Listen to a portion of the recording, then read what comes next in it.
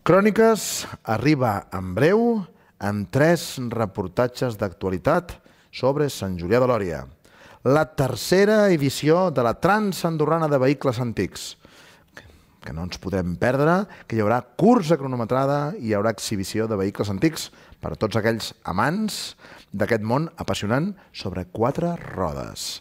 Seguirem amb una campanya que s'ha posat a terme a Naturlàndia juntament amb la ONG Aigua de Coco per conscienciar sobre el medi ambient. I acabarem, com no, amb el Dia Internacional dels Museus, que ens donarà la possibilitat de poder visitar de franc durant dos dies, 16 i 17 de maig, el Museu del Tabac, antiga fàbrica Reig, i, com no, la seva exposició antològica. Tot això ben aviat a l'Hora TV, la nostra.